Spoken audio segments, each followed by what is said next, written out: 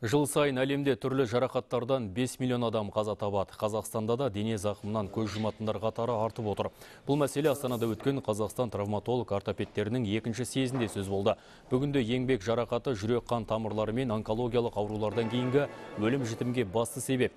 Өнеркәсіпте құрылыс саласы мен көлік қызметінде жүрген адамдар арасында әртүрлі жарақаттан мүгедек болып қалғандар санында екі есе артқан. Сондықтан он мемлекеттен бас қосқан мамандар мәселені шешудің бірден бір жолы салаға жаңа технологияларды енгізу деп отыр.